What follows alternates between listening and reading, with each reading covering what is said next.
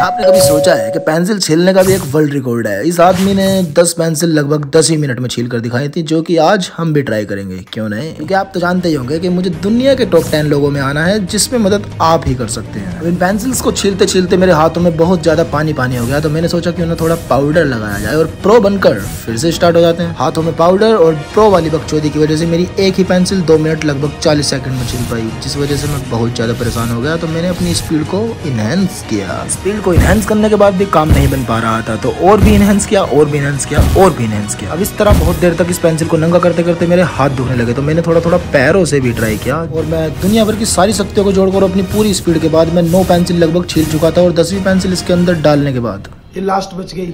मैं तो दस मिनट में नो ही छील पाया हूँ। आप कितनी छील सकते हैं? ये कमेंट बॉक्स में बता तब तक इस चैनल को सब्सक्राइब कर दो। अगली वीडियो में बताऊँगा इस डस्ट का क्या करना है।